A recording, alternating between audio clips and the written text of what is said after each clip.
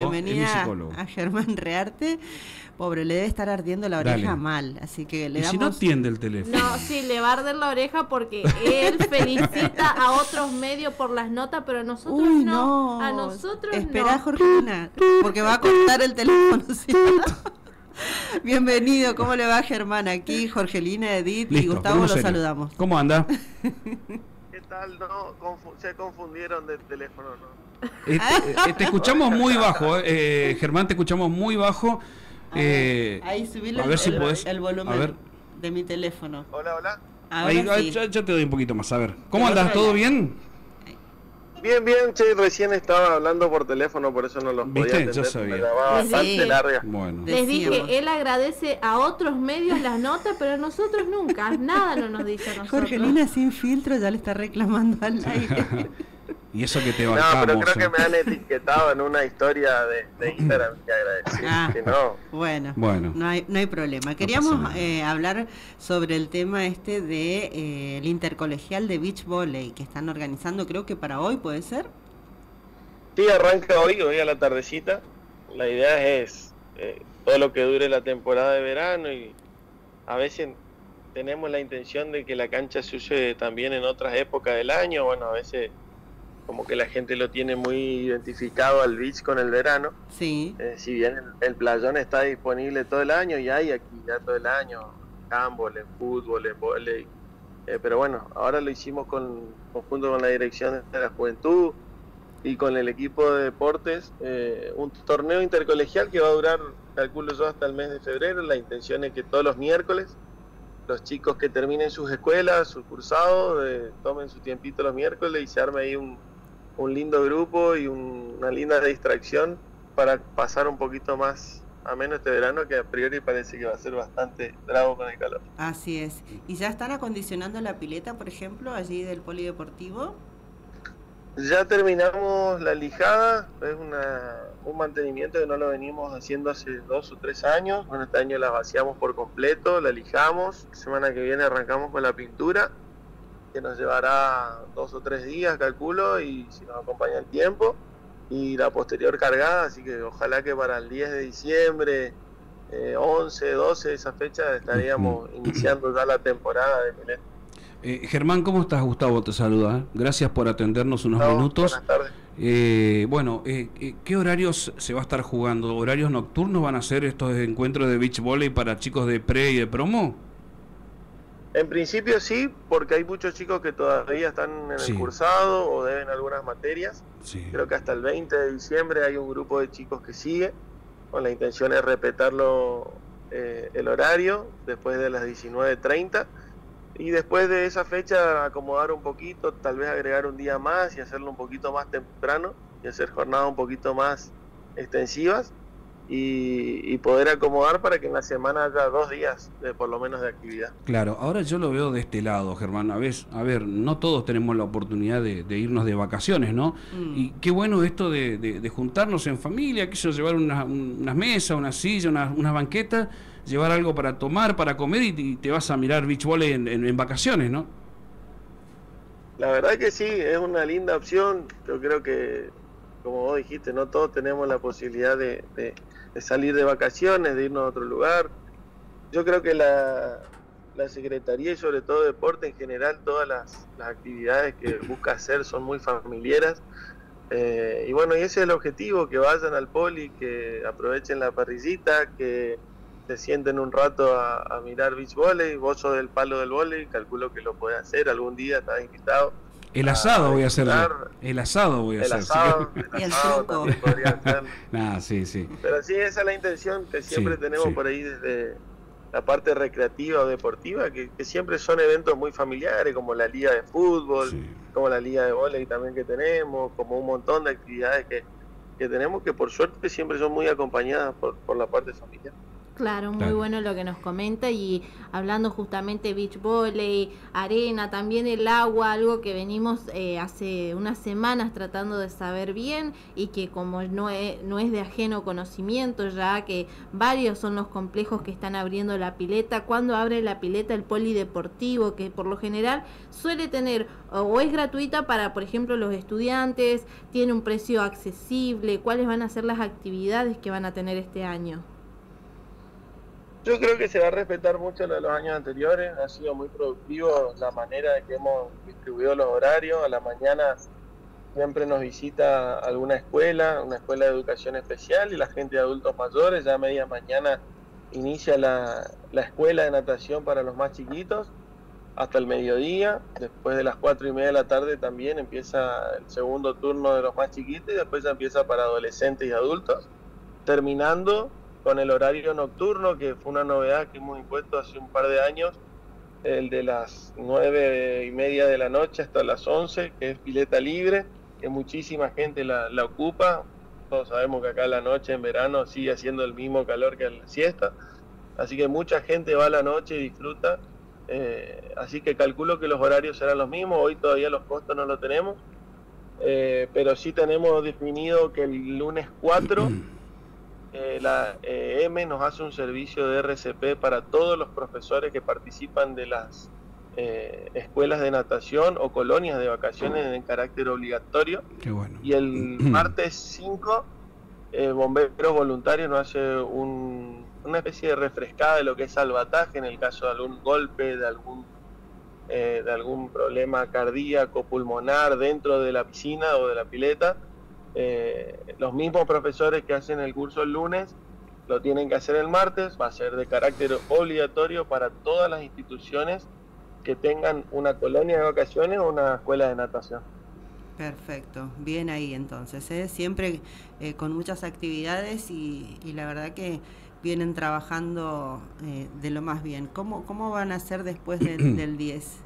usted ya no va a estar más ahí en ese cargo, ¿no? ¿Por qué? ¿No ah, para, ¿cómo? ¿A, dónde lo.? No. Yo quería Deportes, acá, acá, para, acá no hay. Escúchame, escúchenme. A ver. Acá no hay otra persona que entienda como señor Germán Rearte en deporte y todo lo que hizo eh, en, estos, en estos años. Ah, eh, no solamente en deporte, sino que abarcó eh, todo lo que es deporte, eh, en adaptados, acompañando a las personas con discapacidad, acompañando distintas áreas. Ah, bueno, él, él puede continuar entonces. Yo le doy a del Me parece que Edith tiene alguna información que no tenemos nosotros. Estamos desconociendo. Yo, le voy a dar el ok y me voy a ir a pelear ahí en el consejo para. Nah, pero no, a mí me gustaría. Si sabe que tiene No, a mí me gustaría que sigan. Porque, la verdad que hicieron un gran trabajo. No, pero un gran trabajo, un gran trabajo. obvio que sí, nadie discute eso. Sí, sí. Sí, se lo decimos siempre. Muchas gracias.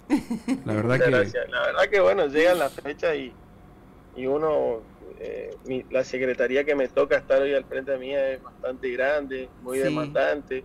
Siempre digo lo mismo, por ahí, llegado la fecha, también hay que ver eh, qué quiere el intendente, eh, obviamente hay que respetar la decisión de él eh, pero uno llega a esa fecha ya con una gana de hacer un balance general de, cómo está, sobre todo de, ánimo y de energía. Es una secretaría que demandó mucho durante los últimos cuatro años, sí. que no hemos tenido que, reestructurar mucho, que el tema de la pandemia, el tema de la crisis económica, el tema no ha sido fácil, hemos reestructurado muchas actividades, uno tenía muchos planes y cambiarlos de repente sobre la marcha eh, bueno, ha llevado mucho desgaste también de todo el equipo que tenemos dentro de la Secretaría, así que veremos. No sé qué, dato tendrá Edith, pero eh, veremos. No, Germán y la familia apoya siempre, ¿verdad? Porque la verdad que la pasaron bastante bravos ustedes, ¿eh? todos los funcionarios que estuvieron allí al pie del cañón en, en la época de pandemia y la pospandemia también, bien lo dijiste vos.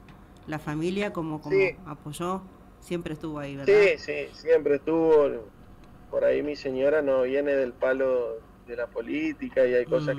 que, cuestan entender en la casa y porque a un horario uno no está o tiene alguna actividad claro. en algún lugar y tarda o viaja, te sale un viaje esperado, tenés que estar dos o tres días fuera de casa, los horarios que te da tu casa no son los normales. Claro. Eh, y bueno, por ahí, bueno, si no, si no hubiese tenido el acompañamiento de mi familia, seguramente hubiese durado muy poco tiempo. Claro.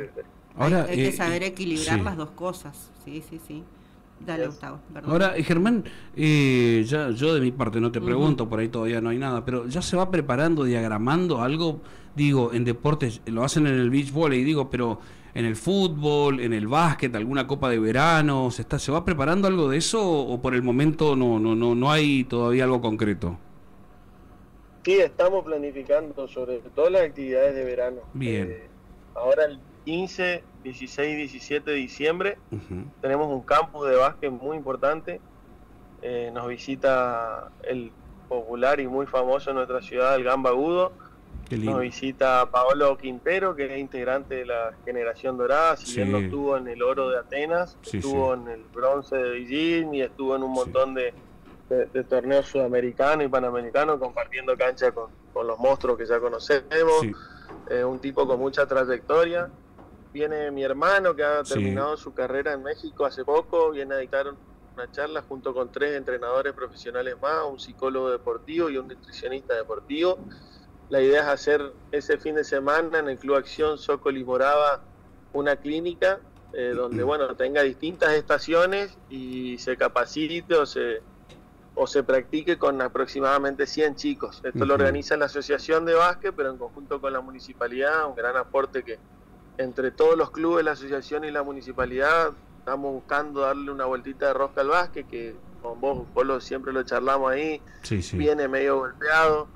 Eh, entonces es una iniciativa como para poder levantar un poco el básquet y al, mismo tiempo, si Dios quiere y llegan las jirafas, inaugurar el básquet municipal, vamos a armar dos canchas de básquet en el polideportivo eh, y abrir otra actividad más, que bueno, era mi gran cuenta pendiente en lo personal el básquet, que ojalá ahora en diciembre se, se pueda cumplir. Después tenemos otra vez unas propuestas de, nos han propuesto hace unos días poder tener la visita o de, una judoka muy importante, campeona olímpica, y hasta una jugadora de hockey campeona olímpica muy importante, capitana del equipo. bueno, estamos en algunas tratativas, actividades, tratando de, de ver si podemos seguir apostando a esas visitas, como han sido la de la selección argentina de vole, que para nosotros ha sido eh, un gran orgullo y ha sido nos ha dejado mucho, mucho, mucha enseñanza.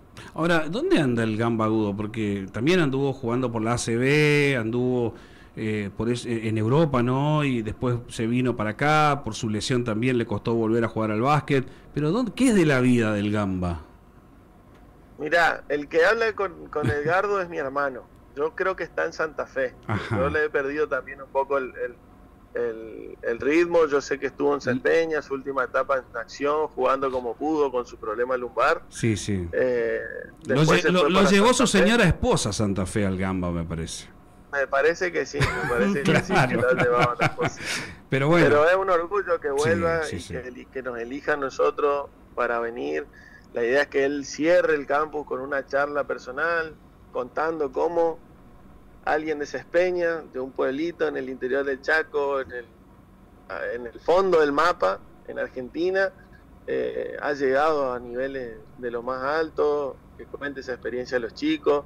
Tenemos la intención de traer el consejo nombrarlo como personalidad destacada del deporte. Qué lindo. Eh, darle un, pequeño mimo a Edgardo que para los hinchas del básquet a nosotros nos ha dado mucha satisfacción y alegría. Qué bueno. Qué ¿eh? lindo, Sí, una agenda interesante, así que bueno, vamos a estar ahí nosotros como siempre, ¿sí? Eh, difundiendo y también apoyando todo lo que se hace desde el deporte porque queremos eh, colaborar en ese sentido para que los chicos estén más eh, apegados al deporte que a la calle. Tuvimos muy buenos jugadores de básquet de, acá. Sí, ¿eh? sí, sí, yo me Bruno algo me acuerdo. Patón Gamilovich. No soy mucho, no soy muy aficionada al deporte, pero he escuchado mucho hablar de, los grandes deportistas y grandes nombres que han salido de acá de nuestra ciudad. Germán, te agradecemos estos minutos y bueno, ahora a esperar la despedida de año, el campeonato que, que nos debe, claro, sí el beach volley, el volei, el, campeonato de truco también, así que bueno, eh, ya va a estar la pileta, así que vamos a llevar ah, todo, todo, todo, así que todo junto. falta el cierre de año y bueno, Sí. y cuando Sí, nos por eso. juntemos en el cierre de año me contás qué información tenés. quedó, quedó esa. Bueno, dale, después te cuento. Se fue Bueno, Germán gracias. Rearte. Gracias, ¿no? gracias Germán. Gracias, un abrazo, el un abrazo. del aguante y la buena onda. Dale, No, dale. por favor, a vos. Y de, de- y de eso se trata, ¿no? De